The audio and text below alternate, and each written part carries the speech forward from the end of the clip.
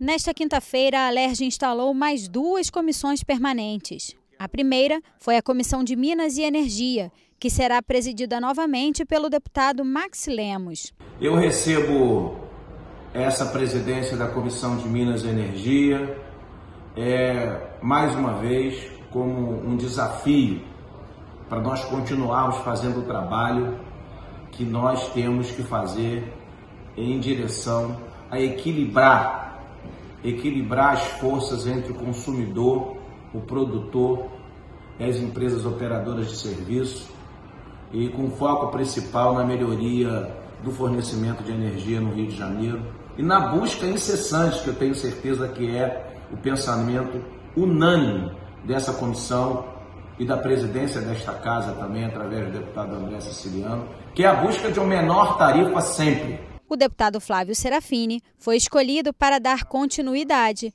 ao trabalho à frente da Comissão de Educação. O nosso foco é como compatibilizar é, o direito à educação com o direito à vida e à saúde. A pandemia continua muito rigorosa, tirando muitas vidas, e o espaço escolar é um espaço que, pela sua natureza de sociabilidade, de convívio coletivo, acaba sendo um espaço muito vulnerável. Mas isso não pode significar, como significou no ano passado, que os centenas de milhares de estudantes fiquem sem nenhum tipo de atenção, sem continuidade no seu processo de ensino-aprendizagem. Na primeira sessão extraordinária, realizada presencial e virtualmente, os parlamentares analisaram a proposta de emenda à Constituição do Estado, que prevê a desvinculação dos recursos do Fundo de Combate à Pobreza e do Fundo Estadual de Conservação Ambiental e Desenvolvimento Urbano, o FECAM. A ideia é permitir a utilização dos recursos para o custeio do programa Supera Rio, que vai conceder auxílio financeiro às famílias em situação de extrema pobreza e pequenas empresas. A PEC, assinada pelo presidente da Alerj, André Siciliano, e outros 45 deputados, foi aprovada com voto favorável dos 70 parlamentares. Pela primeira vez foi aprovada uma, um, uma PEC, né, que é uma emenda condicional, que é um projeto de emenda condicional, com 70 votos, unanimidade da casa. Essa PEC é que vai garantir os recursos para o auxílio emergencial, para o programa Supera Rio, que, por sinal, o governo do estado já vem fazendo algumas reuniões de trabalho para fazer regulamentação entre o dia 20 e 25 será publicada a regulamentação, segundo consta, é, segundo falou o governador. Então, fundamental, vai garantir em torno aí, seguramente, é, em torno de quase 2 bilhões de reais é, essa PEC. Então é fundamental para que a gente possa atender quem mais precisa, quem está passando necessidade. Na segunda sessão extraordinária foi aprovada a proposta que altera a lei que trata da concessão de obras e serviços públicos. O texto da deputada Lucinha e dos ex-deputados Nivaldo Mulim, Dr. Julianelli e Cidinha Campos determina a instalação de placas informativas sobre os contratos celebrados para a execução das obras. Também foi aprovada a criação do Conselho Estadual de Proteção de Dados Pessoais e da Privacidade.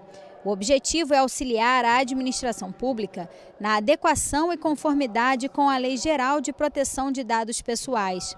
O conselho será composto por 24 representantes, titulares e suplentes, de instituições como a Alerj, Tribunal de Justiça, Ministério Público, Executivo Estadual, Tribunal de Contas, Procuradoria e Defensoria do Estado, além de entidades da sociedade civil, sindicatos, OAB e setor empresarial. O mandato é de dois anos, permitida uma recondução e a função não é remunerada. O texto dos deputados licenciados Renan Ferreirinha e Chicão Bulhões e do ex-deputado Carlo Caiado segue para análise do governador.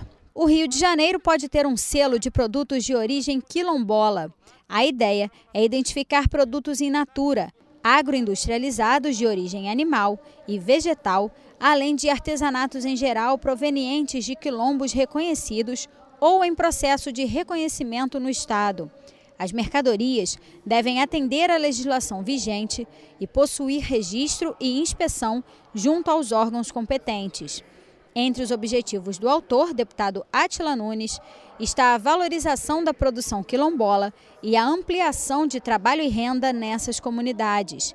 A proposta recebeu oito emendas e retornou às comissões. Um processo de certificação permite que os produtos de origem quilombola é, circulem por circuitos maiores sem perder a sua característica de origem, ou seja, é possível que um produto esteja numa loja e esteja lá, é um produto de origem quilombola. Então, o consumidor que queira fortalecer né, as comunidades quilombolas, esse modo de vida, essa cultura, poderá né, é, saber que se trata de um produto com essa origem, o que ajuda economicamente, socialmente, no desenvolvimento né, das atividades nas comunidades de Quilombo. Na terceira sessão extraordinária, foi aprovado o projeto do deputado Samuel Malafaia, que autoriza o governo a criar o Museu do Petróleo em Duque de Caxias. A matéria recebeu duas emendas. Já o deputado Carlos Mink quer proibir a realização de tatuagens e a colocação de piercings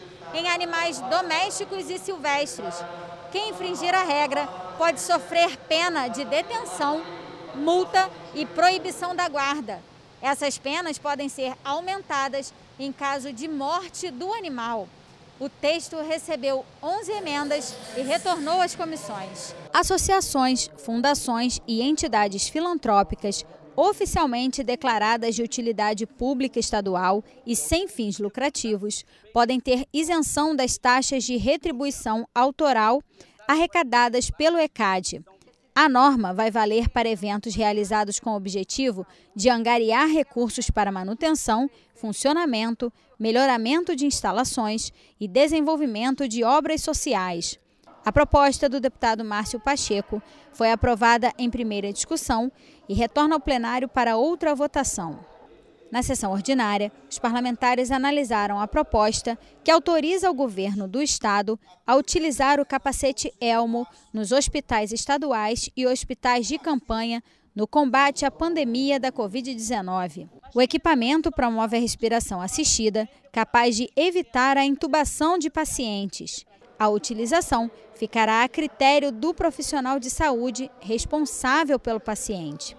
A matéria do deputado Anderson Alexandre foi aprovada e segue para análise do governador. Durante a sessão, o presidente da Alerj, deputado André Siciliano, anunciou que a casa vai se dedicar ativamente ao enfrentamento da tuberculose no Rio de Janeiro. Ele pretende trabalhar em conjunto com os diferentes municípios do estado.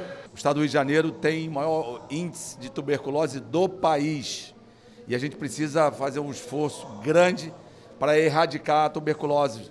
Então a gente está propondo é, um programa que na verdade já existe, nós estamos reunindo os técnicos da Secretaria de Estado de Saúde, é, também fizemos essa reunião com a Secretaria do Município do Rio de Janeiro. Na próxima terça-feira vai acontecer uma reunião de trabalho com essas equipes técnicas e já na quinta-feira vamos realizar é, a primeira reunião com os secretários municipais. Eu estou ligando pessoalmente para os prefeitos, pedindo atenção, porque a gente quer fazer o enfrentamento da tuberculose no estado do Rio de Janeiro e é fundamental fazer via prefeitura, porque a atenção básica é ali que você vai fazer a buscativa, identificar, fazer a buscativa.